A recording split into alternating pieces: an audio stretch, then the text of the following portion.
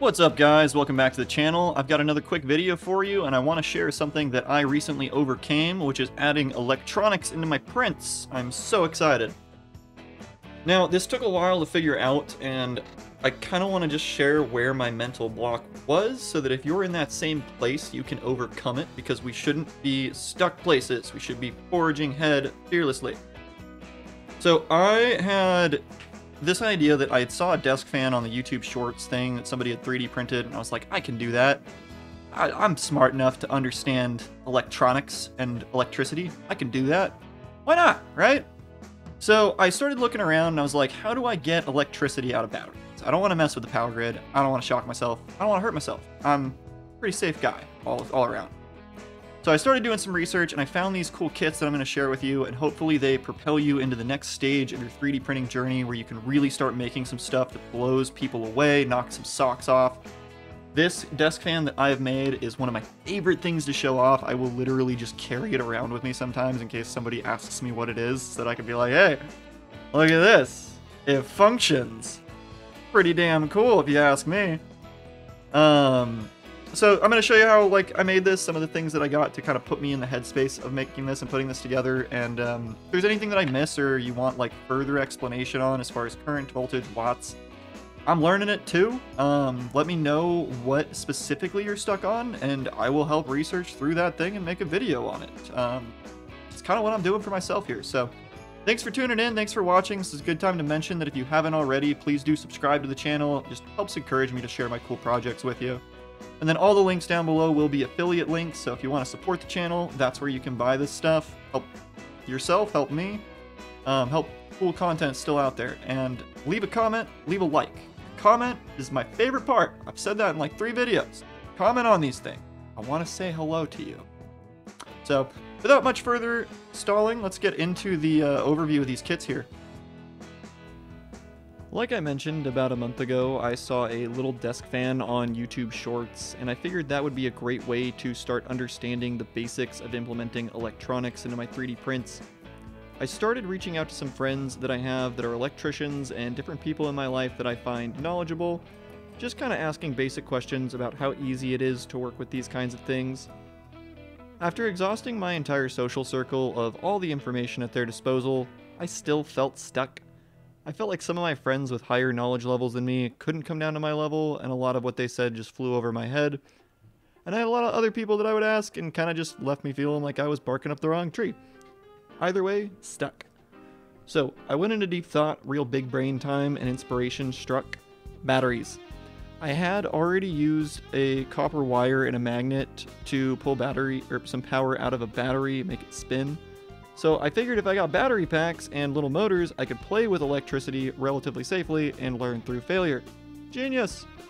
So I hopped on the Amazon and started searching for STEM kits. If you haven't messed with STEM kits before, they are not just for children, they are also for adults that like learning detailed instructions and a challenge. Personally, I always give them a 10 out of 10.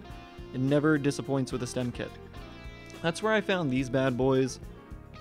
The first one is titled DIY STEM Parts Kit. The kit came with everything I wanted and a bunch of stuff that is going to be useful later. Inside are six sets of AA and 9 volt battery connectors, six brushless motors, eight total wheels, six propellers and switches, motor mounts, and small metal axles with some extra cord. When this thing first arrived, the first thing I did was put batteries in one of the packs and started striking the ends of the wire together like a mad scientist reveling in my tiny little sparks, but hey, all big things come from small beginnings. So after spurting out on the sparks for a solid 10 minutes, I started connecting wires to the motors, which quickly taught me how the polarity of the motors works, which is pretty cool. Now I know what's needed to make it omnidirectional, just a way to switch the current from one side to the other. After I pulled out a switch and quickly looked at the little circuit diagram provided, plugged it all together, and boom, now I have a motor that's controlled by a switch, not just the little battery pack itself being on all the time. So at this point, I could feel myself breaking free from being stuck. I was really letting the shackles loose and making a bunch of progress. Um, I did have a basic understanding from engineering videos beforehand that if I wanted a reliable, permanent connection for my electronics, what I would need is a soldering station. The buddy who solders, let me know this. So I haven't really soldered before, I've tried once or twice, I was a little bit nervous, but after looking around I found all I needed was a good soldering station, um, one that has a good temp control and can keep the temperature consistent while you're working with it. Um, that should make things real easy breezy. So I found one that I think is great. It does the job, had great reviews, and was pretty affordable. And it also came with everything that I needed to get started, so I didn't have to go looking for separate parts and pieces for cleaning, different tips, or other stuff to like use the thing I'm getting. So I have all the tools to make it happen. Now all I'm missing is my 3D model. I pulled out my calipers, fired up Fusion, took a few quick measurements and some extruding later. I had my first prototype for my desk fan, and it actually worked, which was pretty cool, so success. So now I've got a working 3D print that incorporates electrical components, has given me a new place to be stuck at, which right now is supplying the correct amount of voltage and amps to correctly power my devices. Um, conveniently, I knew that that's what would happen and where I'd get stuck next, so I came prepared with a breadboard. I've seen people around me all my life tinkering with these interesting little pieces of plastic, but I never understood or grasped the magnitude of what they held in their hand. A breadboard is to a beginning engineer what a piece of paper and pen are to a beginning writer. A way for you to get your thought children into the physical space and take the first steps to breathing them into life. I had zero idea of what I was doing when I first opened the box, but after watching a few short videos about LED circuits, I was able to make my own basic circuit with LEDs and gain a basic understanding of how they work. So I have a long way to go with the other components like the transistors, the resistors, the bu- buzzers, all that stuff. Um, but I can see many paths forward incorporating these different sensors and parts into my 3D print.